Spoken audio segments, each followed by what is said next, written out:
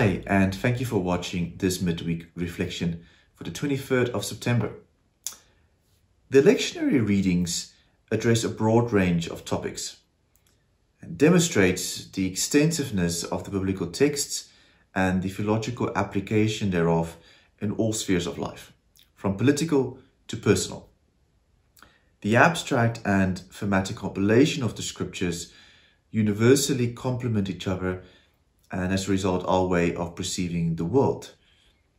We just need to read and reflect on it.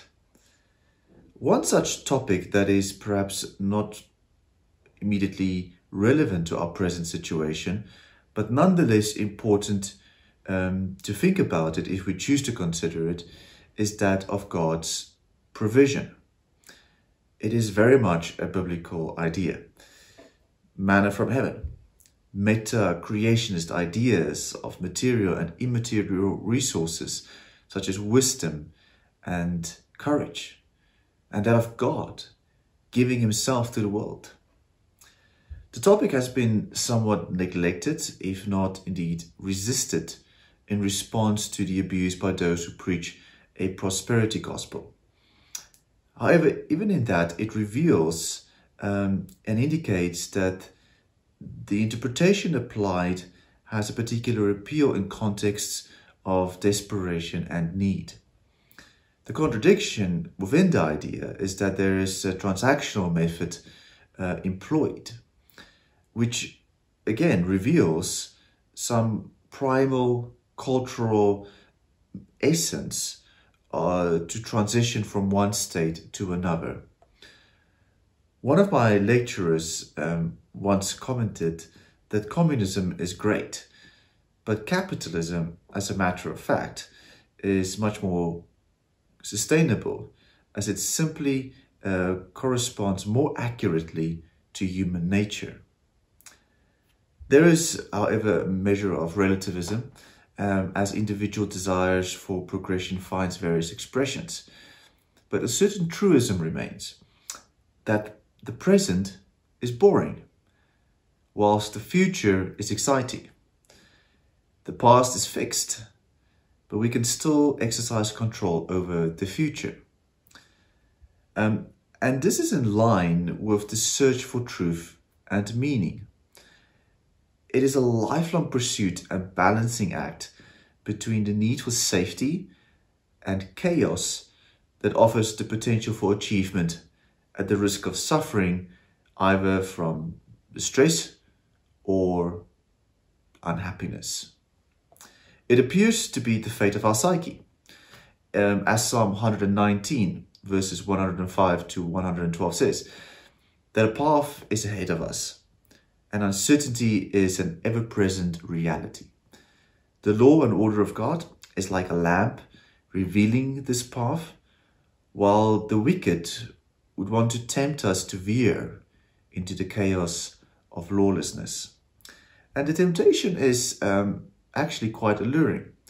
In Proverbs 30, verse, verse 5 to 9, the writer, realizing that uh, the need to stay on the sure path of progression, prays in humility that his desire would not be for excessive riches that would make him forget and deny God's provision, or that he would fall into poverty where he would need to steal and as a result profane holiness.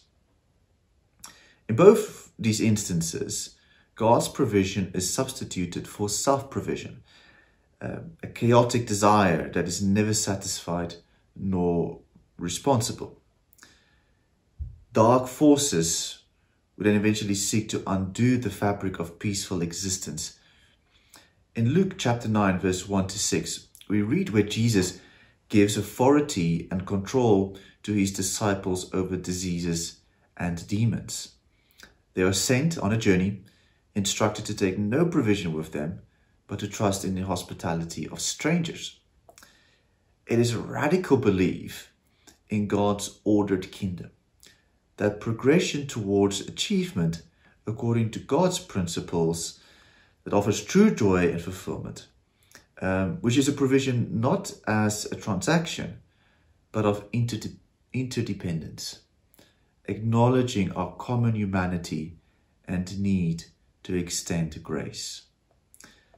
The implication is that we come to perceive the miraculous provision of God. Two such accounts come to my mind. The first is of St. Peter's Church in Sabie, Mpumalanga.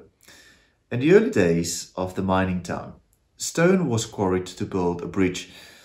But once the stone was inspected, it was realized that the stone would not be able to take the heavy load of the mining equipment.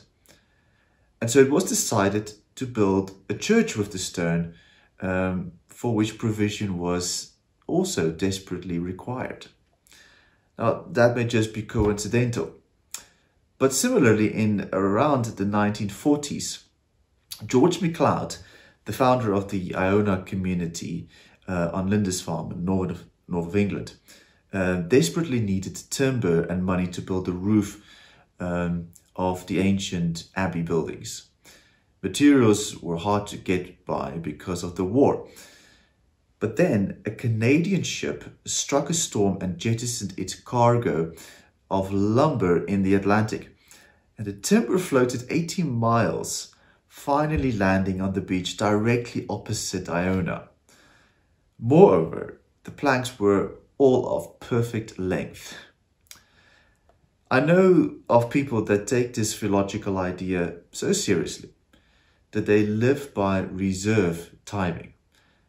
In other words, they of their income, they only need 10% and therefore donate 90% of their income. This asks to surrender to God's order. Uh, and it takes a real mental shift, something of a chaotic nature even, towards an ordered life. But there is a better way, therefore, than just being better tomorrow than today. And I think it's that of a higher living. Amen.